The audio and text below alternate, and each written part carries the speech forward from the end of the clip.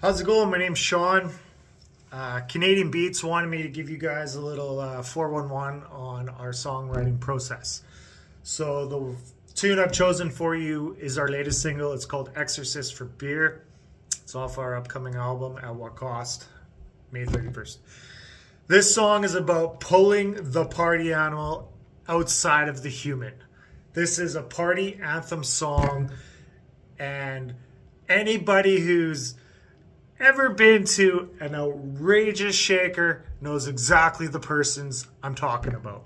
So the story behind this one, my drummer, his father, and his brother started to write this song on the way back from a fishing trip. By the time the boys had uh, gotten it to me, there was a big skeleton on the basis of this song. I added a little bit of my take. We manipulated it to build the story that it is, and then we went to the the musical process after the lyrics were done. It's a it's a collaborative effort, and it's one hell of a tune. But check it out for yourselves. Let us know what you think.